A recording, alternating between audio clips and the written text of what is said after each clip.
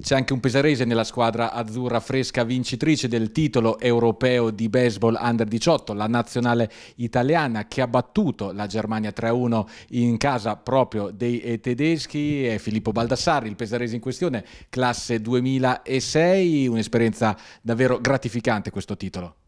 Sì, è stata un'esperienza unica e bellissima, tanto che abbiamo battuto la Germania appunto nella stessa in casa loro ed è stato bellissimo vedere il pubblico spegnersi quando abbiamo vinto e, e tutte dopo le urla.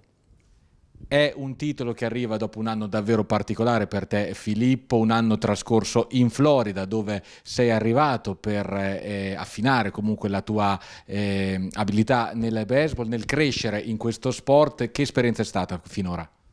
È stata un'esperienza unica e chiaramente l'anno in Florida è stato bellissimo vincendo anche il campionato, mm, campionato Championship in Florida e appena tornato non mi sono fermato neanche un secondo e abbiamo vinto subito di nuovo anche il campionato europeo. Spieghiamo come un ragazzo di Pesaro innanzitutto si approccia al baseball che non è una delle discipline più usuali in questo territorio e poi come arriva a entrare in quella che è la patria riconosciuta a livello mondiale del baseball.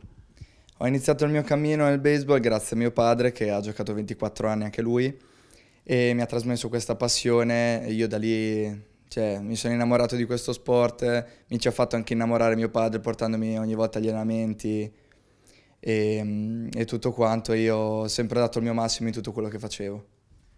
Quanto migliora un ragazzo in questo sport lavorando in quella che è la patria del baseball? Tantissimo, infatti io penso che eh, la migliore cosa che può fare un ragazzo è andare all'estero eh, in America e, e, giocare baseball perché lì è proprio il, il, um, la patria del baseball e da lì che puoi imparare tutti i trucchetti e, e migliorare in esso.